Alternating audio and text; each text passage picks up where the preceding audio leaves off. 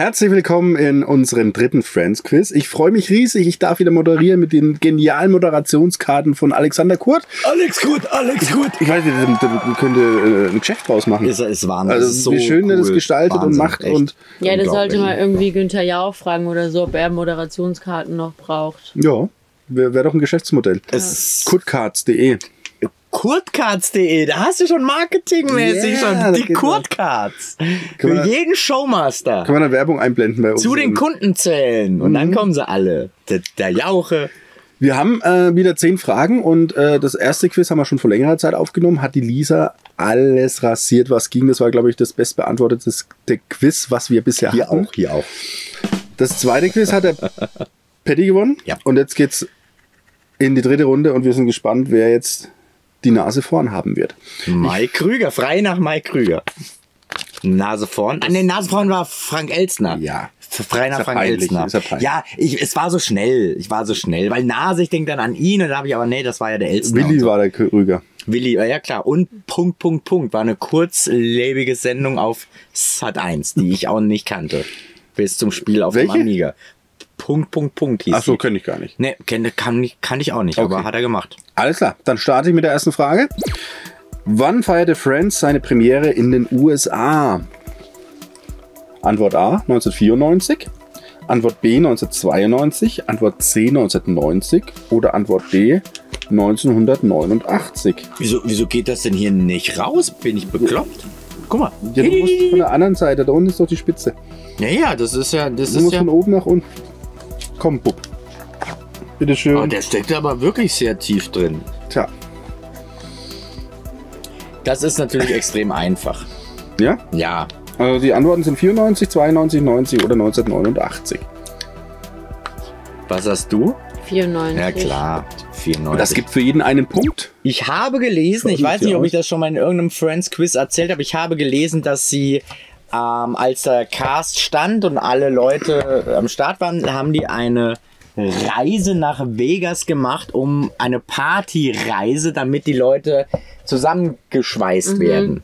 Ähm, das finde ich eine geile Sache. Das war dann anscheinend 93, nehme ich an, ungefähr. Teambuilding. Äh, genau, genau. Und ähm, wie cool das, wenn man sich das heute vorstellt. Man ist dann zufällig da als Touri und dann trifft man die, man denkt sich nichts dabei, man merkt es sich eventuell und dann guckt man ein paar Jahre später Fernsehen und äh, dauert ja dann immer, bis das nach Deutschland klar. kommt. Und äh, das wär- ist verrückt, sowas, gell? Aber man müsste die Leute ja schon kennen. Ja, man, ich, ich sag ja, man, ja ja, oder ja. Als Schauspieler ja, ja. muss man die schon irgendwie kennen, sonst. Ja, es waren ja, die Monika war ja schon bekannt zum Beispiel, ne? Äh, Der Joey hat ja auch bei Eine schrecklich nette Familie mal Ah, ja. der irgendwie mit, mitgespielt, wo El Bundy, wo er irgendwie von der Kelly der Freund war und El Bundy nimmt ihn noch, ich zahle, ist unser Treppengeländer und so. Ich glaube, das ist der, der, wo El Bundy mal ihn so ein bisschen dabei, in den, in den Schwitzkasten nimmt. Ich glaube, er ist das, ja. ja. Sehr cool. Bonusfrage. In welchem Monat?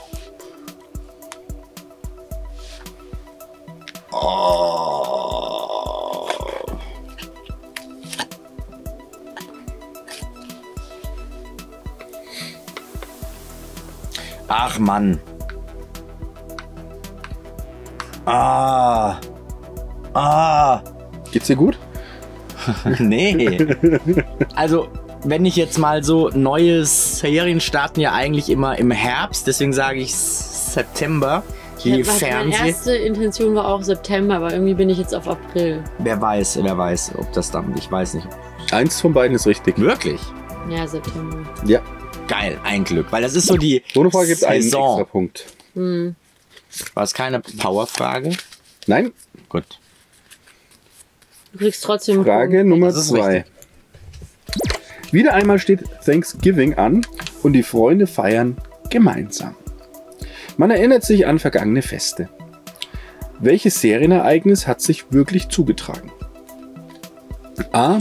Phoebe hat ein Truthahn-Essen-Date mit einem Mann, der als Wahrsager in ihren baldigen der als Wahrsager ihren baldigen Tod voraussieht.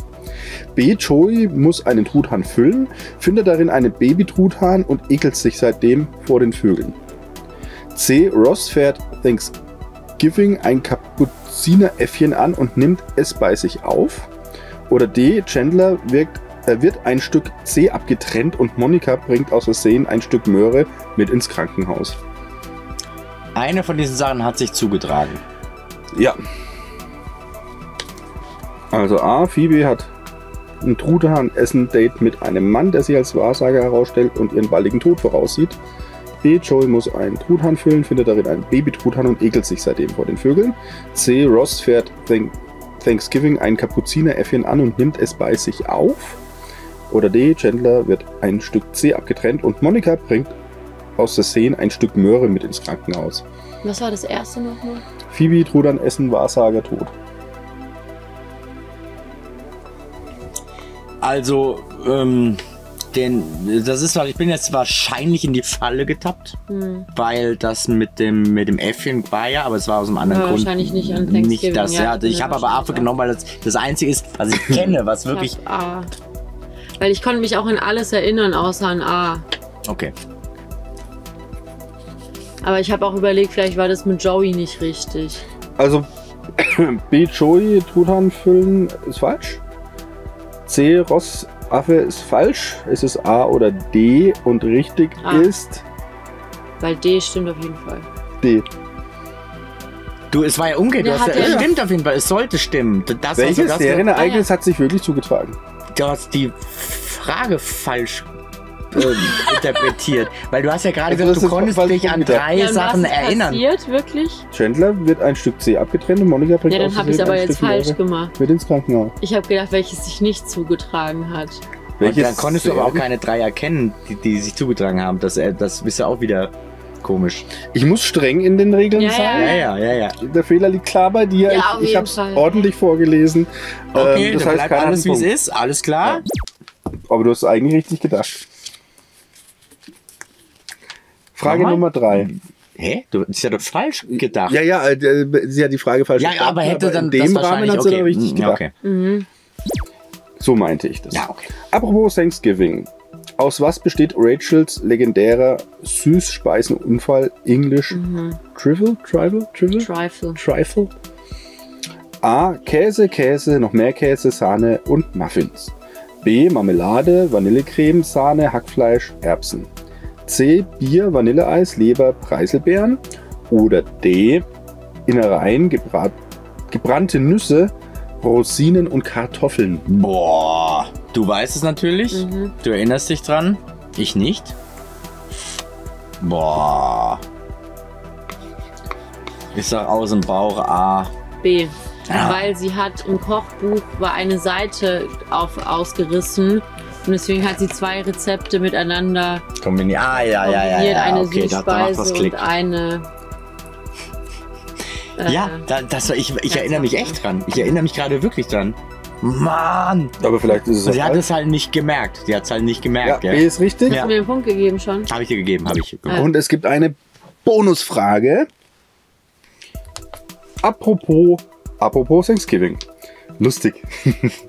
Wieso mag Chandler keine Thanksgiving Dinner? Hm. Weiß ich auch. Ah, es gibt keine andere Möglichkeit, ne, weiß ich. Nee, aber es gibt einen Tipp. Also es hat was auf jeden Fall. Ja, ja, das sagt nichts. Ich hab Ja, die nichts, sag ja. mal den Tipp. Tipp sein Vater. Hm. Hm. Hm. Äh, Todestag von ist an dem Tag gesch- Nee, der ist ja nicht. Äh, ähm, Aber du weißt auch nicht genau. Naja, also du sagst Todestag vom Vater. ja, weil Chandlers Vater ist ja nicht wirklich auf. Der Monikas Vater ist aufgetaucht. In der Staffel 9. So, und auch vorher natürlich. Also sein Vater ist ja, also ich bin mir nicht mehr richtig sicher, aber ich glaube, sein Vater ist transsexuell. Und ich glaube, dass er halt nie zu Hause war und es immer Stress gab, weil er quasi so, also es hatte so mit der Trennung der Eltern zu tun und er war halt nicht zu Hause irgendwie. Oder er musste das mit, mit, mit dem Vater und seinen, vielleicht war der auch, ich glaube, der war nicht transsexuell, sondern so, so eine Drag Queen, so Travestiekünstlermäßig. Ah, ich erinnere, Und er ja, musste ja, ja, dann ja, irgendwie ja, mit, ja. Den, mit den Freunden von ja, ihm abhängen ja, und war ja, da irgendwie ja. halt Ah. einfach in, in einem komischen Milieu Umfeld, ja, ja. gefangen Mhm. an Thanksgiving. Für Das- ihn das ist deine. Antwort? Ja.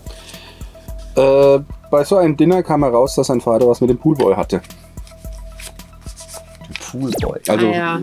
also es geht in eine Punkt. ähnliche Ist, Richtung. ist ja. nah dran, aber nicht ganz Ja. richtig. Dafür gibt es jetzt eine Powerfrage. Mit doppelter Punktzahl. Oder? Mhm. Ja. Warum, also wir sind bei Frage 4, warum wurden im Laufe der Serie die Apartmentnummern der beiden Wohnungen geändert? A. Die Kulissen mussten renoviert werden, man vertauschte versehentlich die Türen und beließ es als Running Gag dabei. B. Die alten Nummern hatten, hatte ein Witzbold ins Drehbuch geschmuggelt und waren satanistisch belastet. C. Die Nummern passten nicht zu den angeblichen Stockwerken der Wohnungen. Oder D. Man wollte schlicht ergreifend das aufstrebende Internet benutzen und für Diskussionsstoff unter Fans sorgen.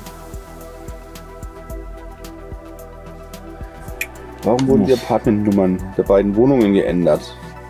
Kulissen wurden renoviert und versehentlich kurz getauscht. Das blieb einfach dabei. B. Witzbold hat ins Drehbuch geschmuggelt, aber das hatte, das war satanisch, satanistisch Das ist belastet. Quatsch. C. Die Nummern passten nicht zu den angegebenen Stockwerken. Habt ihr was? Mhm. Ich habe A einfach mal genommen. Ich hab die. A. Kulissen mussten renoviert werden und du hast D ist Internet, oder? Internet, Diskussionsstoff und richtig ist C. Die Nummern passten nicht zu den angeblichen Stockwerken der Wohnungen. Mhm. Ah. Aber ist ja eigentlich auch egal, oder? Man kann Ja, Serie also dann C einfach hätte ich jetzt belassen. gar nicht gedacht von meinem Also viel auffälliger, wenn man es dann plötzlich umändert. Es fiel den Machern viel zu spät auf, dass so niedrige Nummern niemals zu den höheren Stockwerken passen konnten. Monika Nummer 5 zu 20 und Chandler Joey Nummer 4 zu 19. Es bleibt bei 2 zu 2. Dass man das noch geändert hat, doch bestimmt. Oder, oder Zuschauern ist es aufgefallen oder haben die drauf gebracht. Aber Vielleicht andererseits, wer denkt über sowas nach? es Ja. ja. Das ist strange, gell? Also Nummer 5. Bei Phoebe setzten, setzen die Wehen ein und die Freunde bringen sie ins Krankenhaus. Joey leidet scheinbar besonders mit, aber das hat in Wahrheit einen ganz anderen Grund. Das weißt du. Weißt du das auch? A. Blinddarmentzündung, B. Depressionen, C. Sehnenriss, D. Nierensteine.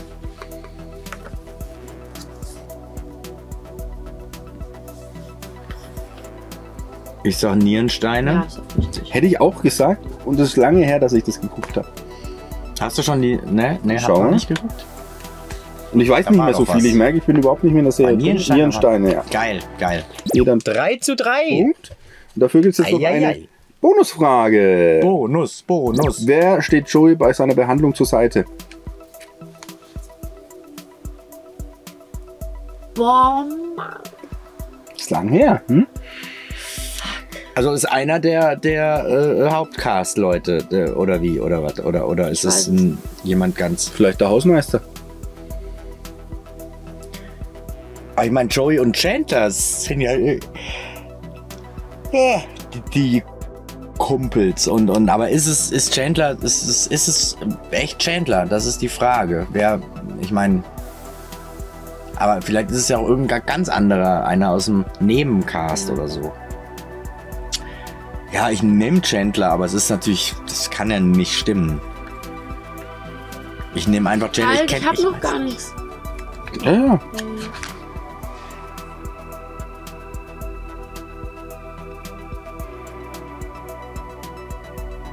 Ich glaube, es war niemand vom Hauptcast, Hm. aber mir fällt keine andere Person ein. Ich könnte mir noch am ehesten vorstellen. Dieser komische Nachbar, der ab und zu mal auftaucht, vielleicht. Sechs.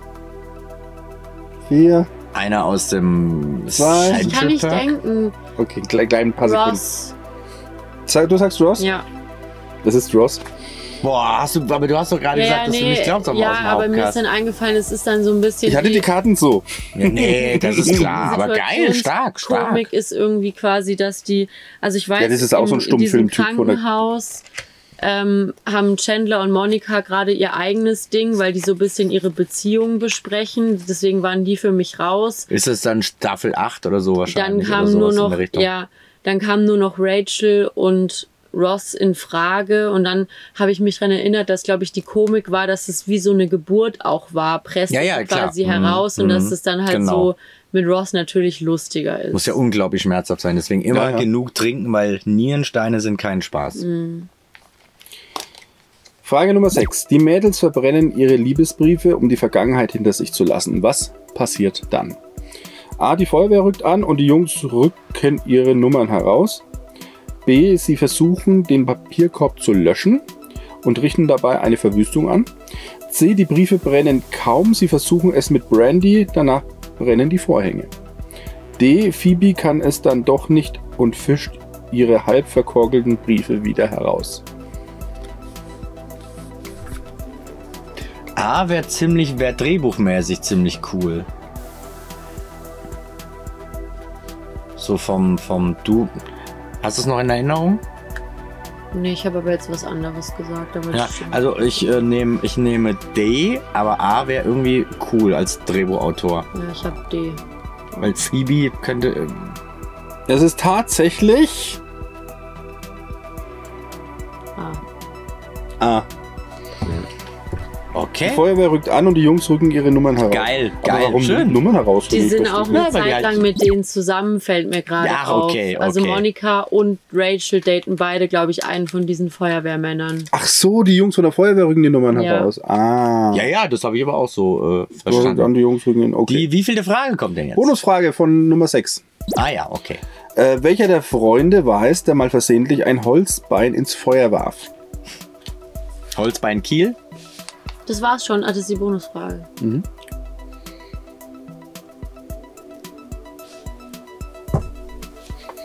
Ja, jetzt ist es ja eh schon angeleckt. Ja, Jetzt eklig. Es ist doch schon. Eklig.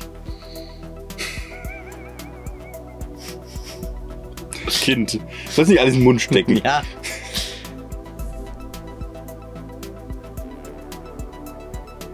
Ich hätte dann noch eine andere Idee.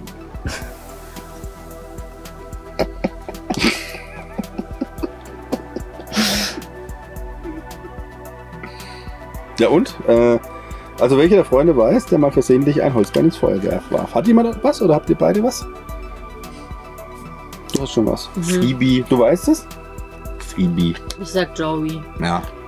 Joey ist richtig. Oh Mann! Muss ich niesen? Muss ich niesen? Ich glaub's. Alter! Geil. So. Lehn dich bitte einfach nur an. Es ist hinter dir hinweg ge gespritzelt. Josef Spritzel oder was? Ähm, du hast deinen Punkt gegeben. Ja. Lisa führt mit 5 zu 3. Wunderbar. Frage 7 ist eine Powerfrage. Wie lautet der Name von Joes imaginären Freund in seiner Kindheit? A. Claude, B. Little Joey, C. Maurice oder D. Louis?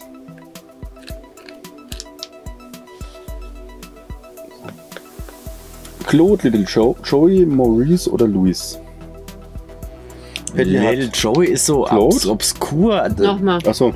Clo Claude, Little Joey, Maurice oder Louis? Ja, Patty weiß es ja nicht. Der rät. Ich hab A. Hm, Ich habe auch, weil irgendwie der Name, ich weiß Ich nicht, ob ich es mir nur einbilde. Little Joey, aber ich dachte wage zu behaupten. Claude. Little Joey wäre es nicht gewesen, Louis ist es nicht, Claude ist es auch nicht. Es ist Maurice gewesen. Cool. Nee, Quatsch. Nee, Claude ist auch nicht ich. ich Ja, ihr habt beide Claude. Genau, alles klar. Bonusfrage? Komisch, hat man, habe ich mir Heißt dann nicht der nur eingebildet. Ir- Achso, ja, irgendwas. Ja, ja Nee. klar, doch. Ich glaube, irgendwie kommt, mir das aber auch sehr bekannt vor. Wie heißt der? Der Affe heißt doch auch Maurice. Der ist doch dann irgendwann so ein Star geworden. ja. Da, ich erinnere mich noch gut dran. Dann haben die den doch besucht am Filmset Set, ja. und so und äh, der ziemlich geil, auch Ja. ziemlich gut. Wo, äh, Bonusfrage. Ja.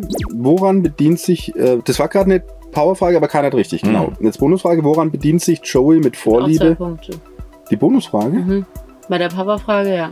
Ach, wenn die Powerfrage ist und dann die Bonusfrage kommt, gibt die Bonusfrage auch zwei Punkte. Ja, genau, so hat Okay. man es eben gemacht. Woran bedient sich Joey mit Vorliebe in Monikas Wohnung? Ja, das solltet ihr doch hinkriegen, wa? Kühlschrank essen, Ja. würde ich jetzt so sagen. Also hier steht am Kühlschrank, aber sie hat jetzt Essen geschrieben, ja, aber ja, ja, gut, lassen wir es. Also haben wir alle beide zwei Punkte mehr auf unserem Kontoleinchen. Weil im Kühlschrank ist ja das Essen. Mhm. Von daher. Frage 8. Rachel wurde in Paris für welche berühmte Marke ein Job angeboten? Mhm. A. Oh Gott. Yves Saint Laurent. Yves Saint Laurent. Yves Saint Laurent. B. Chanel. Ja, das kenne ich noch aus der Werbung. Mhm. C. Dion. Habe ich es richtig ausgesprochen? Und D. Louis Vuitton. Louis Vuitton. Also Rachel wurde in Paris für welche berühmte Marke ein Shop angeboten? A. Yves Saint Laurent. Yves. Saint Laurent. Hast du was? Du auch? Ja, Ich habe A dann Du auch? tatsächlich, aber ich habe Louis D. Vuitton. Louis Vuitton ist richtig. Ja. Oh, Lisa. zieht da davon. rauscht sie davon, genau. Sie zieht davon. Dann sind wir bei der Frage 9. Oh neun. Und sowohl bei 9 als auch bei 10 gibt es noch Bonusfragen. Ui, kannst du noch ausgleichen. Also sogar noch Ja, da ist noch was drin. Da ist noch was drin. Also Frage 9. Auf welche drei Dinge ist Ross allergisch? Jede richtige Antwort gibt einen Punkt. Das kommt auch noch dazu. Ach Moment, ich weiß nicht, ist das schon die Antwort oder? Ah ne, okay. Ich lese ein paar vor und drei sind richtig. Ah, Und jetzt äh, macht, äh, sagt drei. Hm. Schalentiere, Muskatnuss, Kiwi, Erdnüsse, Ananas, Limabohnen, Weißfisch. Schalentiere, Muskatnuss, Kiwi, Erdnüsse, Ananas, Limabohnen, Weißfisch. Muskatnuss eher. Oh.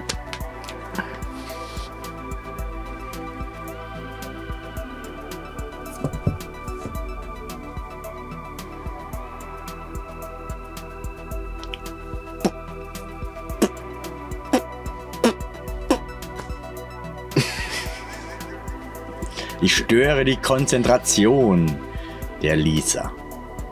äh. Also ich bin mir ganz unschlüssig. Ich meine eine Sache zu wissen. Ähm, Ich habe auch einfach drei ausgewählt. aber es kann auch sein, dass das jemand anderes ist oder so. Also die Auswahl war Schalentiere, Muskatnuss, Kiwi, Erdnüsse, Ananas, Limabohnen und Weißfisch. Drei Ich Stück sind. Schalentiere, Erdnüsse und Ananas. Ich habe Schalentiere, Erdnuss und Muskatnuss. Mhm. Wobei, ja. Also es gibt pro richtige Antwort einen Punkt. Schalentiere habt ihr beide, jeweils einen Punkt könnt ihr euch Mhm. schon mal geben. Erdnüsse hat, glaube ich, nur Paddy. Mhm, Hast haben du wir auch? beide. Sehr gut, aber ist auch der Klassiker irgendwie. Mhm. Ja, voll, voll. Und- der Spence von King of Queens, auch Erdnuss. Kiwi hat keiner, glaube ich. Mhm. Also jeder zwei Punkte. Jeder zwei Und es kommt noch eine Bonusfrage. Wir freuen uns, wir sind Okay. gespannt, wir spitzen die Ohren. Wie viel Gage bekamen die sechs Hauptdarsteller jeweils während der letzten Staffel pro Folge? Das wüsste ich, glaube ich, sogar auswendig. Ja. Oh nee, das wüsste ich nicht. also, Ist das eine Schätzfrage, wer näher dran ist? Oder? Ja, Schätzfrage. Jeweils während der letzten Staffel pro Folge. Mhm. Mhm.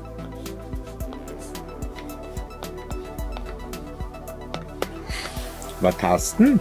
Ich habe, ich weiß, ich kann das gar nicht einschätzen. Ich habe 120.000 Eine Million. pro Folge. Pro Folge, eine Million. What? Wir sagen ja, wer nicht dran ist, oder?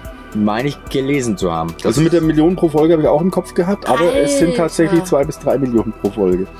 Pro Folge? Für ein- mit dem, Geld hast du immer, mit dem Geld hast du immer Ja, ein ja. bisschen so Probleme, das einzuordnen. Gell? Weil wir hatten ja schon mal in einem anderen Ja, Quiz auch ist schon mal so eine. Sache. Das ist, das ist ja Wahnsinn. Aber es ist ja eine- Weltserie gewesen. Die haben Ja, das ja ja. Aber weltweit. zwei bis drei Millionen, das heißt bei 20 Folgen, Mhm. da Und jetzt haben guck die mal, das haben 60 dicke Millionen ausgesorgt. Euro Und jetzt, und es gab ja noch neun andere Staffeln. Ja, ja, logisch. Alter, die haben ja. Mehrere hundert Millionen auf der Und ich Bank. wundere mich dann immer, ich denke dann so, Nur hier die Fans. arme Lisa Kudrow, Ja, hat so, die keine hat Rollen danach mehr. nichts mehr Ne, gemacht. braucht ja so. auch nicht. Ja, nee. Ja die kann, ja, die kann ma- machen, worauf sie Bock hat. So ist es. Mehr als ein Sechser im Lotto. Mehr als das. Junge, Mehr als das. das. ist ja wirklich krass. Krass. Krass. Wahnsinn, gell? Krass. Krusty der Crazy Clown. sagen. Krusty der Clown. Crazy Oh, krass. du kriegst einen Punkt, Paddy. Crazy Crust. Oh, immerhin ein Punktchen. Äh, Bonus, ja, genau. Bonusfrage normal ist nur ein Punkt. Dann haben wir jetzt noch die zehnte Frage. 20.000, ey. Die zehnte Frage und dann noch eine Bonusfrage. Patty kann noch Das ausgleichen. ist so großartig. Frage 10. Friends bekam nach ihrem Ende einen Ableger. Oh, das weiß man. Wie heißt er? A. Joey. B. Monika. C. Rachel.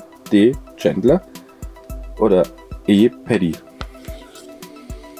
Ich habe die sehr gerne angeschaut. Ich war auch verknallt in die Hauptdarstellerin, Joey natürlich, und ähm, habe mir das auf Englisch angeguckt damals. Im Jahr 2004 kam das schon, oder, oder 5 war es, glaube ich.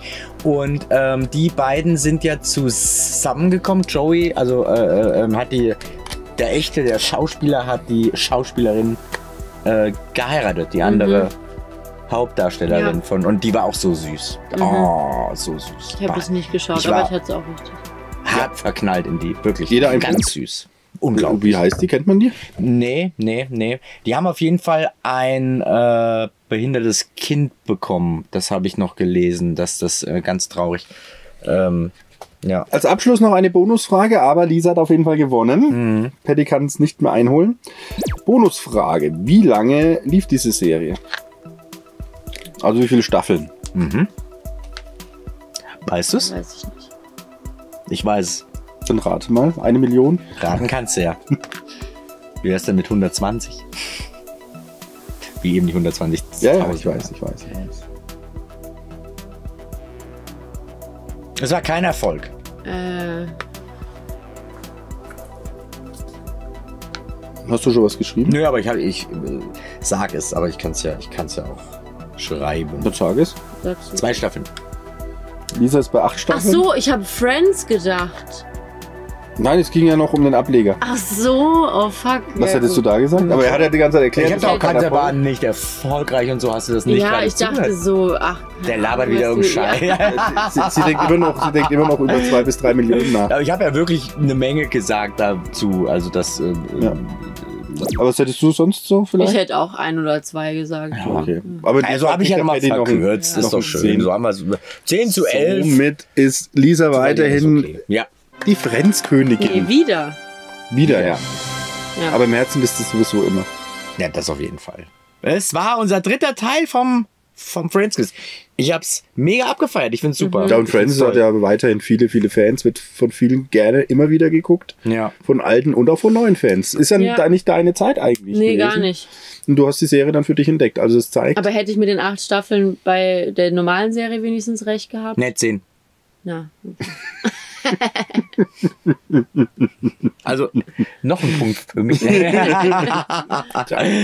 war schön, es war schön. Ach Menno, ey, wer hätte gedacht, dass äh, Chandler der Erste ist, Ach der so, äh, stirbt? weißt du, was ich gedacht habe? Also sorry, dass ich jetzt hier Ja, wieder ja, kein Chandler... Problem, kein Problem. Ich habe ähm, 2002 als Ende der Produktionszeit Das, gesetzt. das Ende der Produktionszeit war 2,4. und ab, ab 94 Zehn Staffeln, zehn Jahre, Ah. 94 bis 2004. ja, daher kam mein Problem, ja. Okay, deswegen acht Staffeln, spulen noch ein bisschen zurück. Ja, ja. vorher. Lisa Okay, hat interessant, gewonnen! interessant. Yay, du warst besser. Wunderbar. Ja. 11 zu 10, wir freuen uns sehr. Und ja, ich, du hast noch ausführen wollen, wer hätte gedacht? Ja, dass das, ähm, wenn man, ich meine, man hat eh nie, nie drüber nachgedacht, wer aus dem Cast mal als erstes sterben könnte.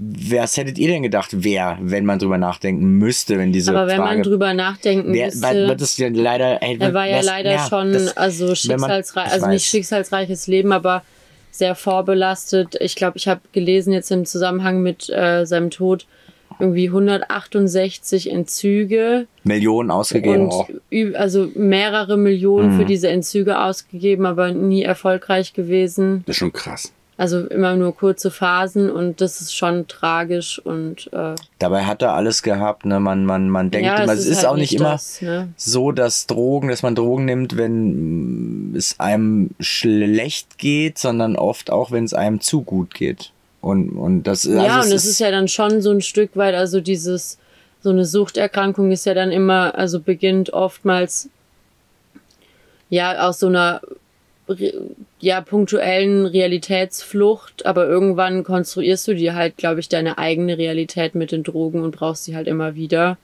Ob das jetzt Alkohol ist oder Schmerzmittel oder was auch immer, die Kombination, da brauchst du halt deine ganz eigene Parallelwelt und das ist, glaube ich, sehr schwer, da wieder von loszukommen. Und dazu kommen natürlich noch die ganzen Opioide in den USA, die da so Ja. zu bekommen sind. Und das, das ist, sind, sind harte Drogen. Das ist ganz krass. Das Mhm. Ja. ist das Schlimmste. Das ist ja quasi Heroin, wenn man Mhm. es genau nimmt. Also das ist ähm, unglaublich, was da, was die Pharmaindustrie mit diesem Land macht. Also es ist ja auch eine in gewisser Weise eine Schwächung des Landes. Ja, es man sieht ja auch jetzt wieder, was da für neue Drogen auf dem Vormarsch sind und ich weiß nicht, wie diese Droge heißt, aber da gab es doch so, kursierten irgendwie in den Nachrichten ganz, ganz schlimme Bilder, verstörende Bilder aus den USA. Also es ist echt. die dann die Haut so irgendwas sagt, da gibt's ganz schlimme, Ja. oh, ganz schlimme Sachen. Aber man geht zum Arzt und man kommt mit dem Opioid nach Hause. Das ist Wahnsinn. Ich finde das Wahnsinn.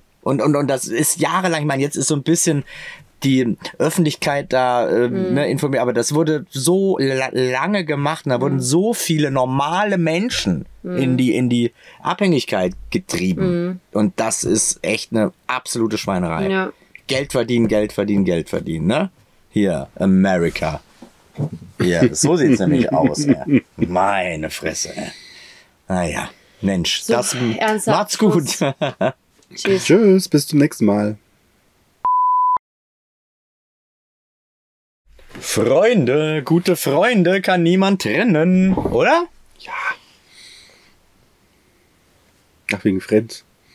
Ja, Du musst Hallo sagen. da ist der Hallo. Groschen gefallen.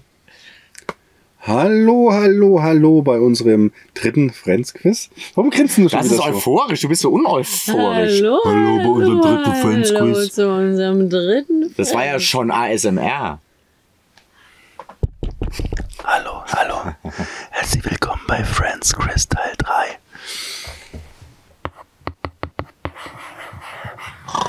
Ja, Jetzt wird's albern. Also, ich begrüße nochmal ordentlich.